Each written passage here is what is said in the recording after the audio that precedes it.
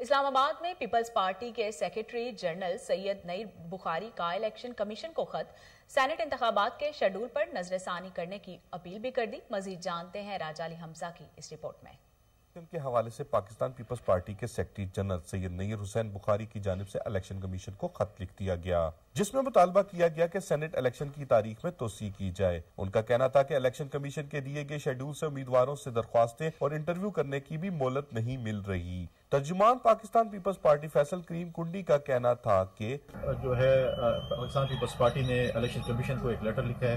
Pakistan peoples party का ये मौकफ है कि इलेक्शन कमीशन जो है उन्होंने जल्दबाजी में जो है वो सेनेट इलेक्शन की डेट दी है। और आप देखें कि पाकिस्तान पीपल्स पार्टी और बाकी जमातों ने इलेक्शन कैंडिडेट्स के लिए जो तारीख रखी थी, पाकिस्तान पीपल्स पार्टी ने आठ तारीख रखी थी।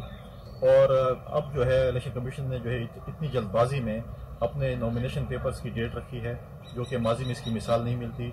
हमें हुकूमत की तो महसूस होता है कि उनको क्यों जल्दबाजी है, लेकिन इलेक्शन कमीशन की जल्दबाजी जो है वो बहुत ज़्यादा सवाल निशान है। अब हमारे पार्टी कैंडिडेट्स हैं जिन जिन्होंने अप्लाई किया था, उनको हम इंटरव्यू भी नहीं कर सके, क्योंकि उनका डेमोक्रेटिक राइट है इंटरव्यू देने का। वो भी नहीं कर सके, बहुत शॉर्ट टाइम था, लोगों को इंटरव्यू के लिए पहुँचना था, कोई कहाँ पे ट्रैवल कर रहा था, कोई कहाँ पे ट्रैवल कर रहा था, वो भी नहीं हो सका।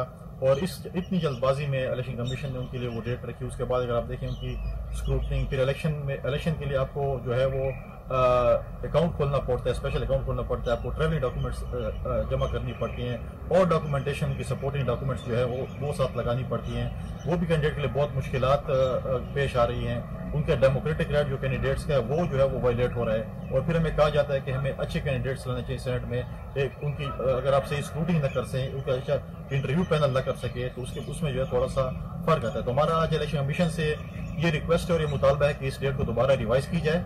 उनका मजीद कहना था कि उम्मीदवारों ने इलेक्शन कमीशन को दस्तावेजात और मुकम्मल क्वाइफ देने होते हैं, जिसके लिए दिया गया वक्त बहुत महदूद है। उम्मीदवारों को इंतबी मुहिम चलाने का वक्त भी नहीं दिया जा रहा। प्रोडक्शन टीम के साथ राजा अली हमजा।